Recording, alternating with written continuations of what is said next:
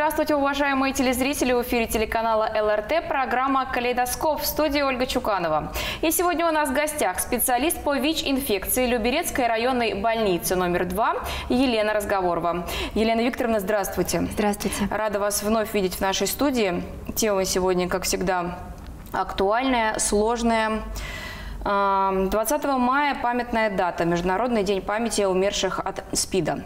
Скажите, пожалуйста, сколько ВИЧ-инфицированных людей проживает сегодня на территории Люберецкого округа? На территории Люберецкого округа в настоящий момент проживает более 1600 ВИЧ-инфицированных.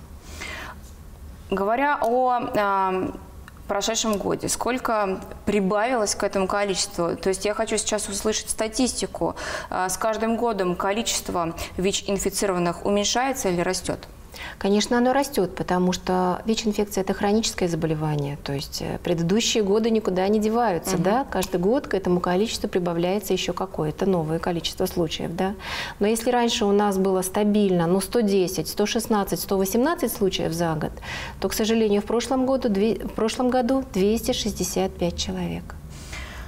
А, ранее мы э, с вами, когда встречались в этой студии, говорили о среднем возрасте 30-40 лет. Сегодня это заболевание молодеет, стареет или что с ним происходит? Основная масса ВИЧ-инфицированных так и остаются в возрасте 30-40 лет. Это впервые выявленное заболевание у людей, которые ведут совершенно нормальный образ жизни, которые никогда не употребляли наркотики, не имели большое количество половых партнеров и тем не менее вот заразились ВИЧ-инфекцией. Но, к сожалению, э, по своей работе я могу сказать, что у нас сейчас опять пошел рост новых случаев э, заболевания наркоманией.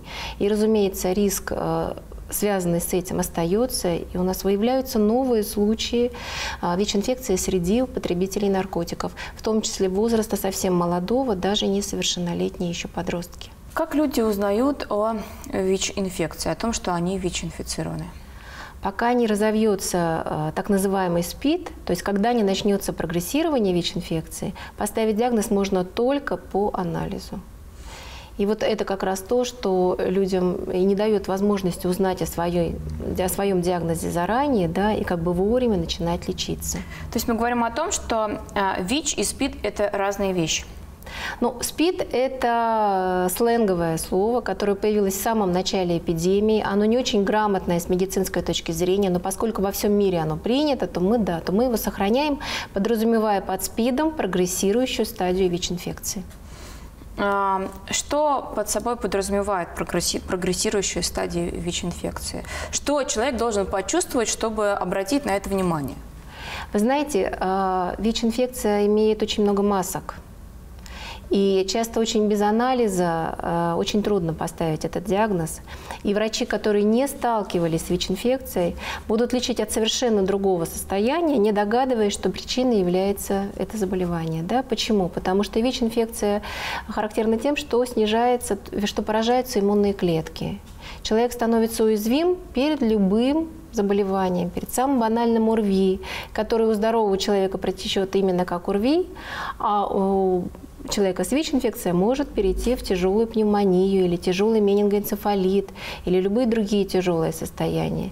Либо, например, онкологические заболевания, которые в принципе бывают и без ВИЧ-инфекции, но на фоне ВИЧ-инфекции они текут достаточно тяжело.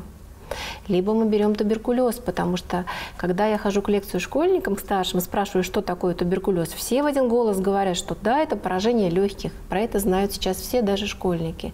Но при ВИЧ-инфекции это может быть и туберкулезный менингоэнцефалит, это может быть туберкулез внутрибрюшных лимфоузлов, который приводит к кишечной непроходимости и заканчивается, к сожалению, летальным исходом. Угу. То есть здесь очень сложно все-таки не специалисту поставить диагноз. А, какими способами сегодня передается ВИЧ-инфекция? Пути заражения не изменились. Это два основных пути. Первый половой, и он у нас в настоящий момент. И у нас э, в нашем городском округе, в Московской области он является лидирующим. Почему половой? Потому что человек, заражаясь, долгие годы живет, не подозревая, что болен. И ведет нормальную с точки зрения обычного человека жизнь, в том числе имея достаточное количество половых партнеров. И каждый раз рискуя да, заразить другого человека ВИЧ-инфекцией. Второй путь, также, э, который тоже был и который был лидирующим в России в начале эпидемии, это через употребление наркотиков. На долгие годы, на самом деле, мы забыли достаточно в общем, про этот путь передачи, потому что э, после 2004 года ежегодно актуальность этого пути снижалась. Но, к сожалению, в настоящее время у нас выявляются наркоманы, молодые люди, которые заразились ВИЧ-инфекцией через употребление наркотиков. Как люди реагируют, когда узнают а, о своем приобретенном недуге? Основная масса реагирует одинаково. Э, отрицание – это вот первое то, с чем я сталкиваюсь на приеме. Потому что человек ведет нормальный образ жизни, у него хорошее образование, хорошая работа, социальный статус, семья, дети. И вдруг по какой-то причине он попадает в больницу, где берется анализ на ВИЧ в том числе. И анализ приходит положительный. И когда у человека ничего не болит, и вдруг доктор говорит, мы знаете, у вас вот такой диагноз, конечно, это будет отрицание. И, к сожалению, это отрицание длится годами. То есть и 5, и 8 лет мы, мы пациентов можем приглашать на прием, и люди не идут. Потому что они считают, ну как, у меня нет проблемы, я себя прекрасно чувствую. Ты считаешь, что это ошибка, они идут делать повторно? Да, они считают, что это ошибка. Тест. Вот. И достаточно маленький процент, который э, все-таки обладает достаточным уровнем, в том числе и вот интеллекта, можно так сказать, и он слышит меня на приеме, и хотя бы проходит дальше обследование, ну просто хотя бы, чтобы проверить. И дальше с ним уже работают психологи, доктора, специалисты, которые объясняют, что сейчас это заболевание, с которым можно жить, что можно иметь детей здоровых, нормальную работу – и как-то ну, происходит вот этот этап принятия диагноза. Но отрицание – это первое, с чем я сталкиваюсь. А, хотелось бы на этом вопросе остановиться более подробно. Так все-таки, что такое СПИД сегодня? А, современные технологии помогают ли людям действительно жить с этим диагнозом? А, потому что, как вы правильно сказали, что многие, сталкиваясь с этим, отвергают его, и что, что делается дальше? Вот, и, и люди отвергают, и общество отвергает. Что такое СПИД сегодня? А, стал ли он более э, принимаем? Социально наверное? приемлемым? Да. Нет, социально приемлемым он не стал. И это то, одно из тех немногих заболеваний, которыми стыдно болеть и стыдно сказать. И вот э, э, за прошлый год было два диких случая, когда у меня э, абсолютно но социально адаптированные пациенты, имеющие хорошую работу, лишились этой работы, когда работодатель узнал о диагнозе. А как они, каким образом они узнают? Э, вот от нас ничего не исходит, потому что врачебная тайна. У нас даже амбулаторные карты хранятся у меня в кабинете. Допустим, база данных, э, нет выхода в интернет, то есть я не могу базу обновить э, ВИЧ-инфицированных по интернету. Я должна поехать и под роспись получить вот эти данные. То есть здесь идет врачебная тайна. Но вы знаете, каким-то образом диагноз выходит. Может быть, даже сам пациент где-то поделился, вот когда был тяжелый период да, принятия диагноза, и дальше пошло. Работодатели увольняют. Мало кто оставляет у себя сотрудника, зная о таком диагнозе. А вообще сегодня есть какая-то практика защиты или, может быть, льгот, как у других, э, э, у других людей, страдающих другими недугами? То есть, может быть, какие-то человек может рассчитывать на какие-то льготы или как раз-таки защита о том, что его не уволят с работы? Увольнять никто не имеет права. Это нарушение закона Российской Федерации. Э, ВИЧ-инфицированные имеют право работать везде, кроме очень узкого круга, связанного с тем, что человек может заразить, допустим, врач, да, у него там хирург, который может заразить э, пациента. И то, в принципе, если этот, если этот ВИЧ-инфицированный доктор принимает лечение, то есть у него вирус крови не определяется, даже в этом ситуации его не имеют права отстранить от работы. Поэтому это нарушение закона. Но здесь мы говорим о другом. Здесь мы говорим об отношении в обществе к такому диагнозу. И если это частная компания, то работодатель имеет право поступать так, как он считает нужным. И поскольку у моих пациентов, конечно, очень тяжелая психологическая ситуация, люди, которые живут уже пожизненно с таким диагнозом и очень часто в изоляции, потому что они и сами находятся да, в этой изоляции, они не обращаются за помощью. Ну, просто никто не пойдет э, защищать свои права через суд. Хотя это можно сделать. Но я так понимаю, что вылечить ВИЧ нельзя. Да, ВИЧ-инфекция – это неизлечимое хроническое заболевание, но оно ничем не хуже, чем тот же сахарный диабет или бронхиальная астма или огромное количество других заболеваний, которые являются хроническими. Мало того, такие тяжелые заболевания, как, например, онкологические, в настоящий момент тоже поддаются лечению, если диагноз поставлен своевременно и своевременно оно начато. При ВИЧ-инфекции сейчас очень хорошее состояние, можно сказать, можно сказать, очень хорошее состояние по лечению. В чем оно да, выражается? Угу. В том, что существует огромное количество противовирусных препаратов. Это лекарства, которые а, действуют на ферменты на ферменты самого вируса, не давая ему размножаться. И если вирус не размножается, он не разрушает иммунные клетки. Если иммунные клетки не разрушаются, соответственно, да, не снижается их количество, то э, человек остается неуязвимым, перед какими-то да, внешними воздействиями, другими заболеваниями, и он просто-напросто не болеет.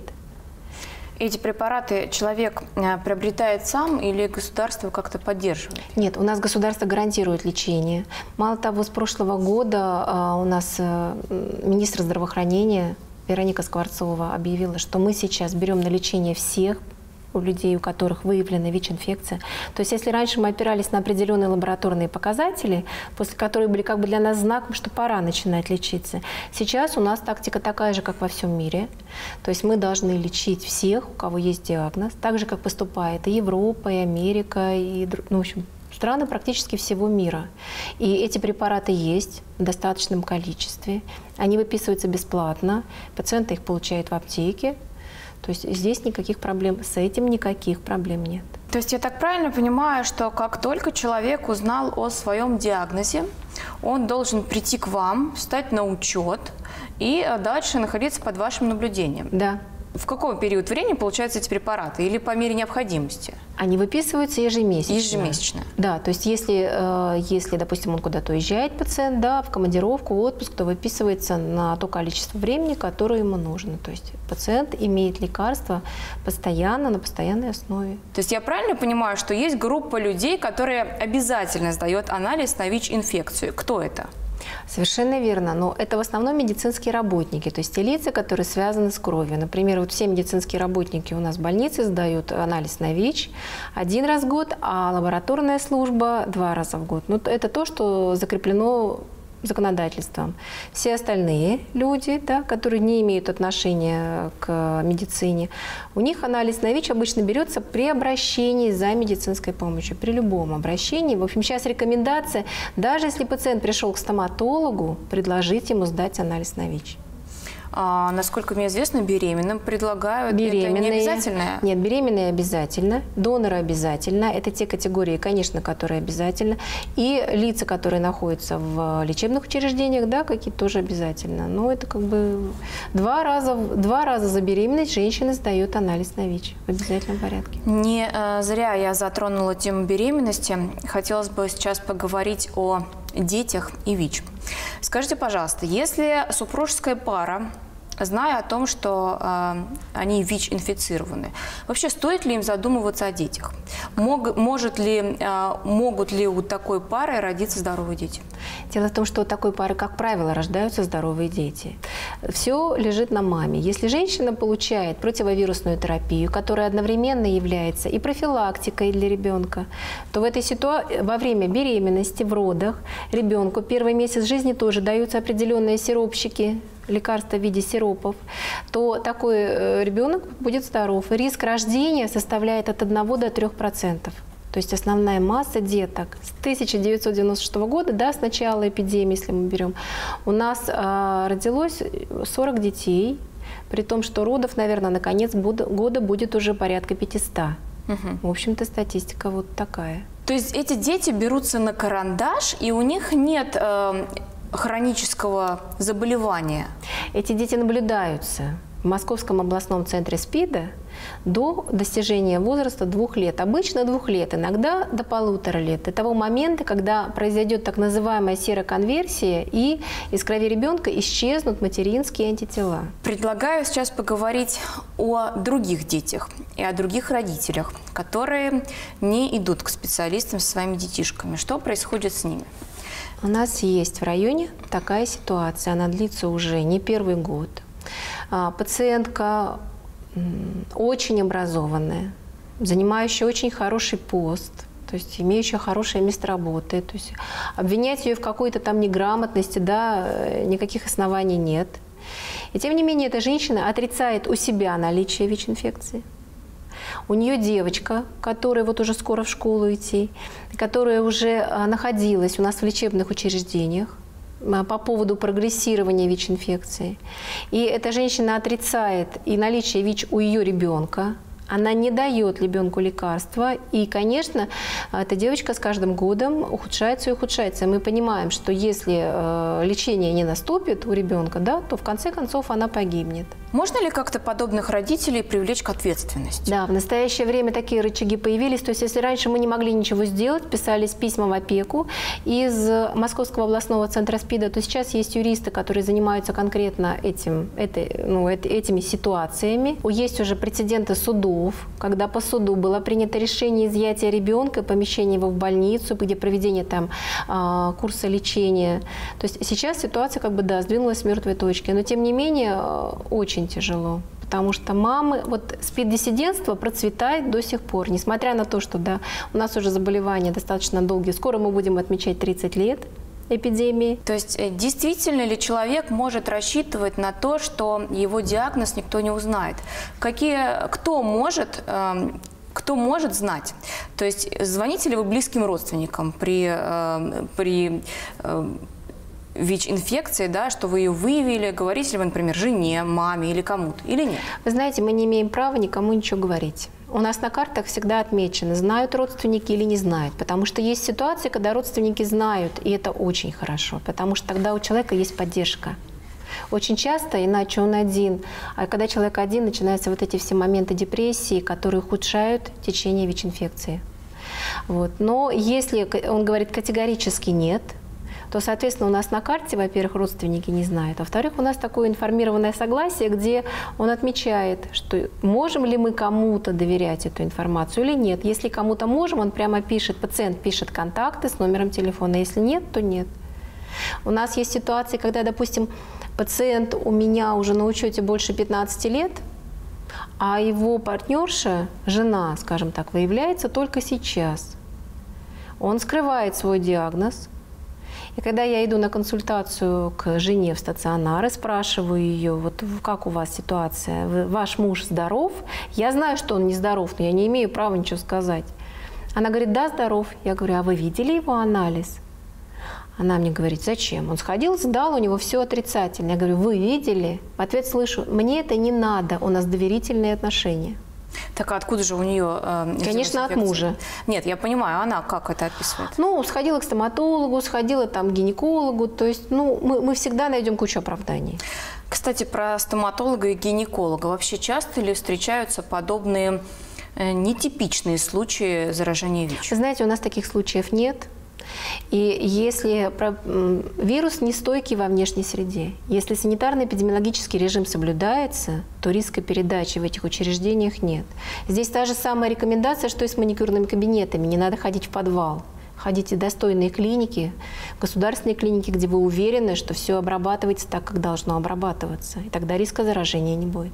Как сегодня э, доносится эта информация детям? Как сегодня информация доносится школьникам? Вообще сегодня в обществе говорят про СПИД? Знаете, я хожу по школам, начиная с восьмого класса. У меня второй вот врач-инфекционист у нас в поликлинике, мой коллега Лев Павлович Денисов, он тоже ходит по средним учебным заведениям, лекции мы читаем. Здесь проблема в том, что подростки не слышат, абсолютно не слышат. То есть я сижу, я вижу, что там абсолютно... И вы знаете, я в какой-то момент этому рада, потому что если аудитория подростковая начинает задавать мне вопросы, то меня это напрягает. Потому что в этом возрасте подобные вопросы говорят о том, что подросток уже столкнулся с этой проблемой. И хорошо, когда вот в аудитории ни одного вопроса. Просто дети послушали, э, для них что ВИЧ-инфекция, что жизнь на Луне или на Марсе – это одно и то же. Вот, но, к сожалению, потом, приходя ко мне года через два, через три, у меня бывают случаи, когда девушка спрашивает, а почему мне об этом в школе не говорили? Угу. То есть, конечно, здесь, мне кажется, то, что касается врачей, у нас это в плане работы, мы ходим и делаем. Но мне кажется, должна быть какая-то государственная политика, и она должна быть совместно с образованием, может быть, и на постоянной основе. Только тогда эти подростки будут слышать. Хотя бы обучение навыкам безопасного поведения. Давайте, может быть, мы сейчас перечислим те самые навыки безопасного поведения. А, как можно защитить себя от ВИЧ-инфекции? Ну, уже логически понятно как, да, из нашего разговора. Поскольку основным путем сейчас все-таки является половой, то секс с незнакомыми партнерами только с использованием презерватива. Это единственное, что защищает от заражения практически на 100%. Это вот первое, главное и основное. Если мы говорим о передаче через кровь, а, не касаясь наркотиков, да, то, конечно, нужно ходить а, в те лечебные учреждения, не в подвалы, в те маникюрные кабинеты и там в те татуажные салоны, где вы уверены, что соблюдается все ровно так, как должно соблюдаться. Тогда риска заражения не будет. Ну, а по поводу употребления наркотиков, ну, это, это больше к подросткам, да, уметь сказать «нет», когда тебе предложат. Перед планированием семьи надо ли а, мужу задавать такой вопрос, жене задавать такой вопрос, вести на специальные анализы, или это все зависит лично от человека? Ну вот смотрите, с учетом того, что все-таки ВИЧ-инфекция никак не проявляется долгие годы, в Европе вообще сейчас такой вот курс взят, э, чтобы максимально выявить, максимально лечить и остановить эпидемию, да, что там идет сейчас активная пропаганда, направленная на то, что придите и сдайте, просто сдайте анализ на ВИЧ, даже если вас ничто не беспокоит. И, конечно, пары, э, когда пытаются, да, или планируют вступать в серьезные отношения, конечно, в идеале оба партнера вместе приходят, и у нас такие пары есть, молодые ребята, девчонки, которые приходят и вместе сдают анализ на ВИЧ. То есть можно сказать, что это такая модная тенденция? Современная, сдать анализ на ВИЧ? Я не могу сказать, что это модная тенденция, потому что если бы она была модная, это было бы более массово, чем есть, но то, что э, это уже есть, это правда. Это платная процедура? Бесплатная. Согласно закону Российской Федерации, обследование на ВИЧ в любом медицинском учреждении, э, государственном медицинском учреждении, является бесплатным. Для телезрителей, которые сейчас смотрят нашу программу и, возможно, заинтересовались и хотят прийти и э, провериться на наличие и отсутствие ВИЧ-инфекции, э, хотелось бы спросить, куда им идти, где вы находитесь? Я знаю, что там все не так просто с кабинетом, с табличками и вообще такая достаточно конфиденциальная информация и конфиденциальные помещения. Ну, оно просто как обычный кабинет врача. Нигде в поликлинике вы слово «СПИД» не увидите. И ВИЧ вы тоже там не увидите, потому что это врачебная тайна. И пациенты, которые приходят на прием, они должны чувствовать себя комфортно. Поэтому каждый пациент э, звонит по телефону, записывается, и ему назначается определенное время, по возможности, чтобы он не пересекался с другими пациентами. Значит, а можно записать, записаться можно по номеру телефона 495 503 4010. Там принимаете только вы? Да, я с медсестрой. У нас есть второй доктор на э, втором этаже, который тоже в отсутствии меня может, в моем отсутствии может вести прием. И номер телефона тот же самый. Ну что, остается, наверное, пожелать э, нашим телезрителям, чтобы они соблюдали все меры безопасности, которые вы перечислили, и действительно э, зараженных в нашем регионе, районе, округе с каждым годом, но если не уменьшалось, то, по крайней мере, не увеличивалось. Большое спасибо за то, что нашли время прийти в нашу студию и в очередной раз поднять э, такую достаточно серьезную, сложную тему, о которой надо говорить. И говорить надо как можно чаще. Большое спасибо. Спасибо вам большое. Нашим телезрителям напомню, что сегодня у нас в гостях была Елена Разговорова, специалист по ВИЧ-инфекции Люберецкой районной больницы номер два. Вы смотрели программу «Калейдоскоп». В студии была Ольга Чуканова. Всего вам доброго и до новых встреч в эфире.